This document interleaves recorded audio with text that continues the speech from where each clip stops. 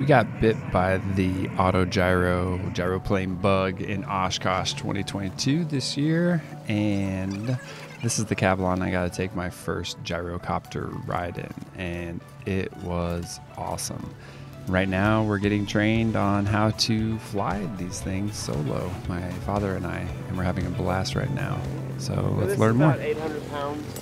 Okay. To give you an idea as far as moving, you, uh, it was pretty easy to move with the two of us. Yeah. On the grass, Uh, it's on a little grass. harder. On, as- on pavement, it's one guy. Okay. Awesome. Okay, I'll meet you the end of the smile ray.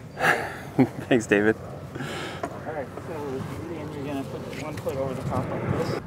So you slide this stick Foot over. to the left. Foot goes over and tucks in. I'm six foot six, so I have the seat all the way back. Had the back leaning all the way back. There's a telescoping tube with a button depress. So we're getting situated and figuring out this headset. I like the Bose A20s. They do a better job of noise canceling than those Lightspeeds. Okay, fuel valve is up and guarded. Throttle idle. Brake set. Pump two check. Looks good. Navs and strobes on. Are all the other lights off? Waiting for clutch and fuel pressure to turn off. Setting our altitude. Let's go to zero. Just for fun. Enter. Continue. And comms on. And set this one up. Go So he's doing the pre-flight. I'm fussing with my camera. Okay. It's the Garmin G3X. There we go. Zero feet. And I believe it's a 10 inch model. Is that the Garmin G3? Yeah, G3X. G3X. So this is the main page. Here's the page with all the map and traffic on this side. And then on this side, it just shows the traffic without the maps. So it kind of declutters it for you. You can see the runways, you can see all the aircraft. If you touch an aircraft, you get its data down below. Awesome. Yeah, it's not too bad. Really nice little unit. If they're flying in front of you, like this guy's not in front of us, but Turn it- yellow. we're here. So as he comes in front of us, a yellow dot will come out in front of us like that. Yeah, if they're further away, they'll be, they won't be a yellow dot. They'll be rectangles or triangles or whatever. Having some squares. form of moving map is great for situational awareness. Okay. I have noticed that some of the smaller Garmin maps, it was difficult to find where the traffic is. The resolution is still leaving a little bit to be desired on these units, given that it's 2022.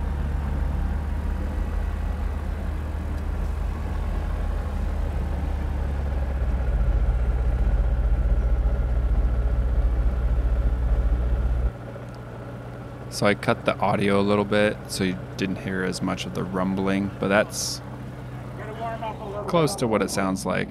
I reduced the loudness, but it's it's got some kick. This being the first flight of the day, he's got to warm up the engine oil above 120 degrees Fahrenheit.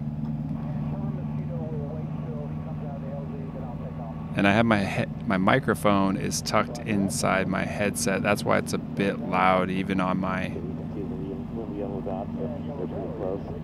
And the zero zero is how many feet above you or below you they are in hundreds. And that's, so that's We're on same, same altitude. He's right here. Back to you now. There's one that's further away. You see him way out there. Solid square. So he's checking the engine gauges, watching that temp. So temp, you start the propeller first. I gotta warm it up. and I said propeller, but I meant rotor. Then we'll take off from over there. Yeah, we- they wouldn't like very much if we tried to take off from there. Oh no, no, I wouldn't expect it to take off from there. I'm just saying you start that the tail rotor, So the, it's not really a tail rotor on this one, it's actually just an engine. just an engine propeller. Yeah. So that's our thrust. This is gonna be our wing, our limb up here. And so that's gonna give us all of our, I'll you know. So that was me using totally incorrect words and descriptions. So the rotor blades are the two blades up top, sometimes three bladed for gyroplanes. The propeller is the thrust or tractor um, propeller where it's on the front, but this is a thrust on the back of a Rotax 915 IS motor. So fuel injected, 141 horsepower. We're taxing on grass. They can be a little bumpy, so you want to be careful to go taxing slow and not thrash it about. They're 800 pound machines with some long levers up top.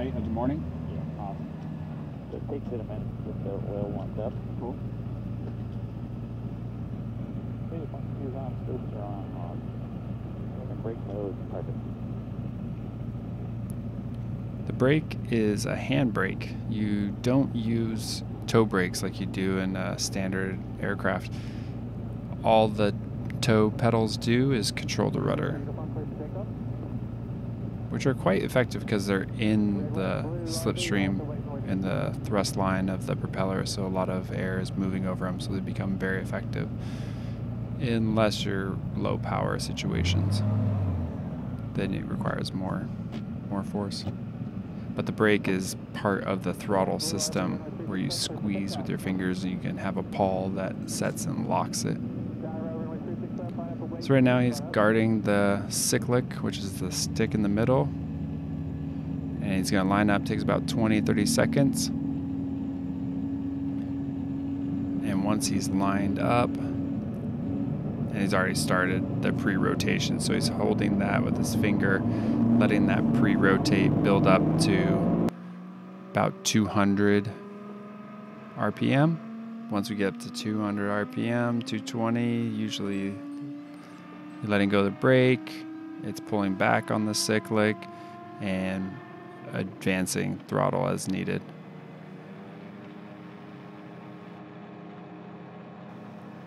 So we're picking up speed, driving more of that wind to get the auto rotation in the rotor blades. And he'll lift up, stay a little bit in slipstream or the ground effect, but he's already rising off because he's picked up enough. I've been practicing balancing, staying low, a lot of fundamentals right now. But once you have enough speed and you're about 55 to 60 miles an hour, then you should have enough climb power where you can actually start your climb. So you climb out about 60, 65, and you're rocking. Once you get to altitude, pull back power does have a turbo. You only want to be running about five minutes. So you pull that back, pitch down to maintain airspeed because once you pull that off, your airspeed will bleed down. So you tilt the rotor disc a little bit forward because you have to imagine that the rotor disc is encountering that wind at an angle, like the upside down of a frisbee. So the less that it's catching, the more efficient the blades are, and the less drag you'll have. And so we're following the railroad tracks out. It's beautiful. I've now done it with the doors off, which just have simple little pins you click, pull out. You can fly. It's definitely loud and buffeting, and kind of takes a little bit of getting used to, but it's a blast. I love being able to just look down in a turn and go, oh, well, there's the ground. So Michael's now going to take me on a tour of the Oshkosh area.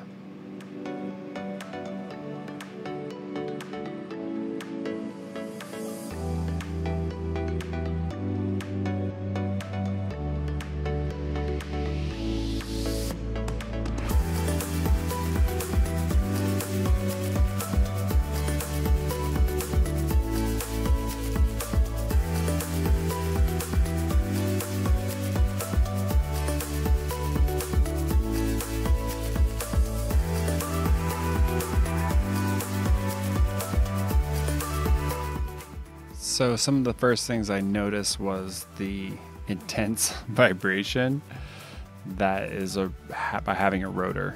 Um, a propeller is one thing, but having that rotor, and I don't, I've only done one other helicopter ride or any type of rotorcraft ride before. That was the first thing I noticed. Um, the stick definitely jiggles in your hand a fair bit since it's all part of that same vibrational system being connected to the rotor, which is spinning about 300 RPM.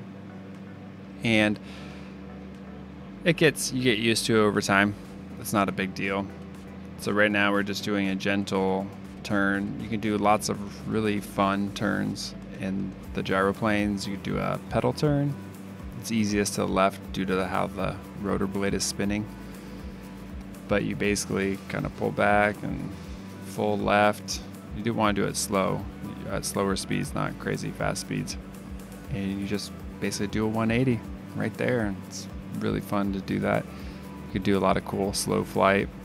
And Michael was taking me around to check those things out.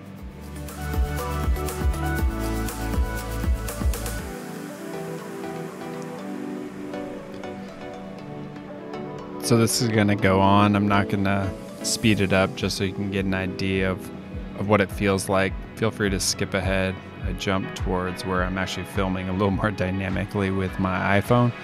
But I was having iPhone issues. I even managed to accidentally, due to how the iPhone clipped in in my settings, I ended up having it call SOS, which alerted all my SOS people, which happened to be my dad, my mom, and my wife while I'm flying a gyroplane for the first time at Oshkosh, no cell reception, and yeah, I basically caused a very strong dose of fear and search on my dad's part, who couldn't get a hold of me. And I even got a call from, I believe it was a police officer, and I didn't recognize the number. So, and we were flying. I'm like, why would I answer that? And I think almost probably about like two minutes before landing, I realized like, what's this SOS thing on my phone? Oh no. Oh no. So thankfully everything was cool. My dad's former detective and he was mustering all the resources to start figuring out what happened. No one had an APB on us. Didn't know the tail number. All that all that jazz. So fun times at Oshkosh. So just be very careful if you're going to clip your phone to record to not have the SOS be if you press and hold the power and volume button for longer than five seconds because it'll auto dial and sends out this message. So I was getting text from my family, I did not realize until I was on the ground. Really. Again, you can see how stable he was showing me how just once you trim it and you're con- kind of constantly trimming it depending how winds are behaving and power settings so you're doing that and you can get a relatively smooth flight garmin even has and they're starting to show them you'll see a turn here is demonstrating garmin even has an autopilot that you can add into this and we're looking at doing that if we decide to purchase one. So you can see how he's doing like a 45 60 degree turn right now. And super smooth.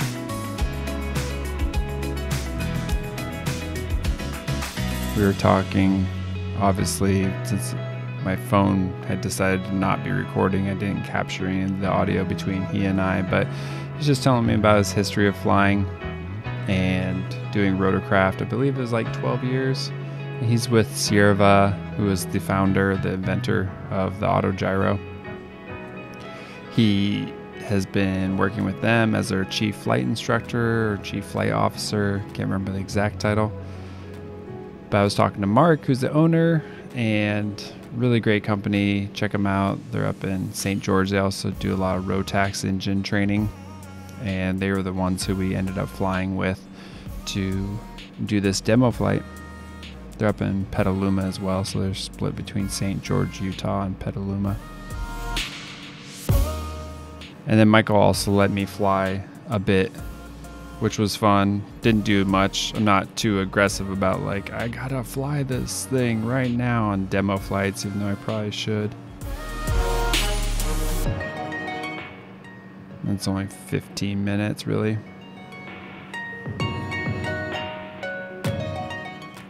definitely go check it out if you can find a local rotorcraft club or one of the dealers for auto gyro go sit down make friends pay for a discovery flight and see if you like it.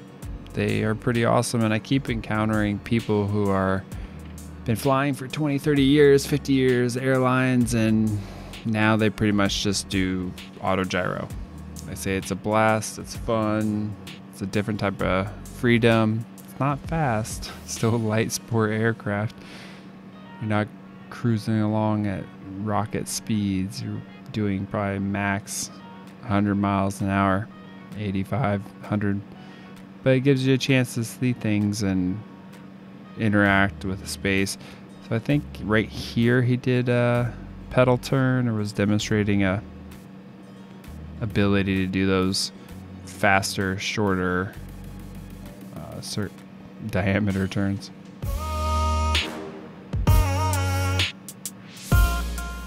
And you could do the sunshade down, wear a ball cap. They do recommend if you're going to be flying a lot to protect your hands, the very least put on sunscreen because you are in this open canopy where the sun is just pouring in, giving you great views, but also a lot of UV exposure.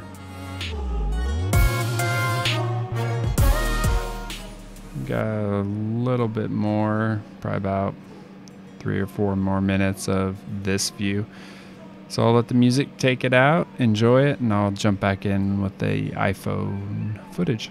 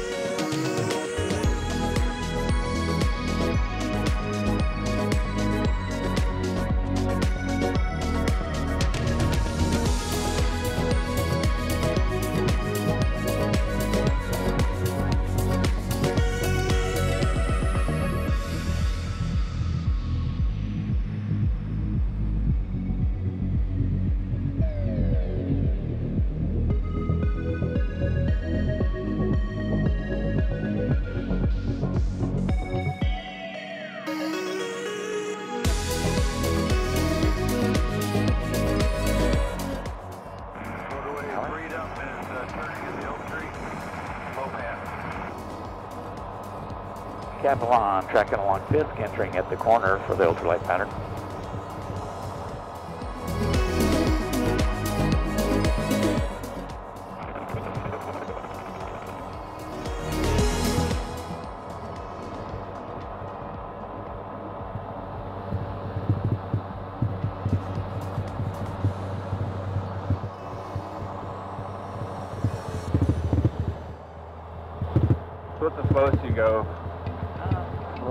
Just for fun, Yeah. 35 or something. I mean, I go all the way to zero, but, you know, obviously you're going to go down. Got it. So in order to maintain altitude, 35. Yeah, so I'm going to do everything this rotorway. And the uh, Cavalon has the rotor, white rotorway in sight following you in the pattern.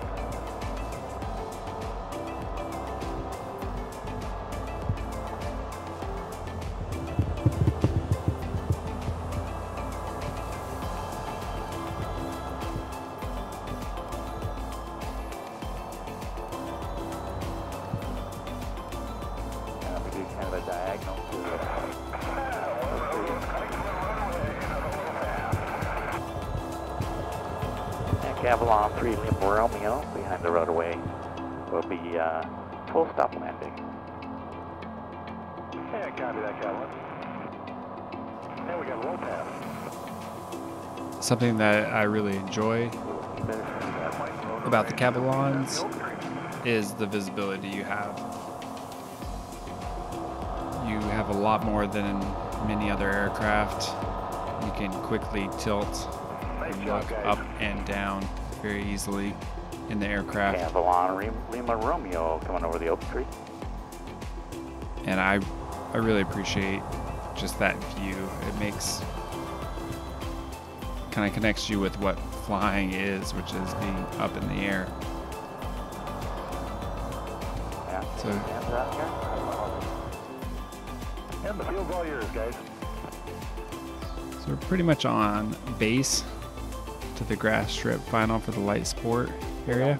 Go past this. I got a little nervous, going 50 right now. to be honest. It was 60 miles an hour. Coming in, and he was turning and banking, and you know, you got this wide door like right there. It's like,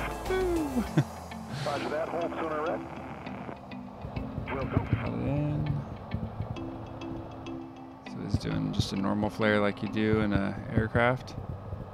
Get it on the mains, hold it up,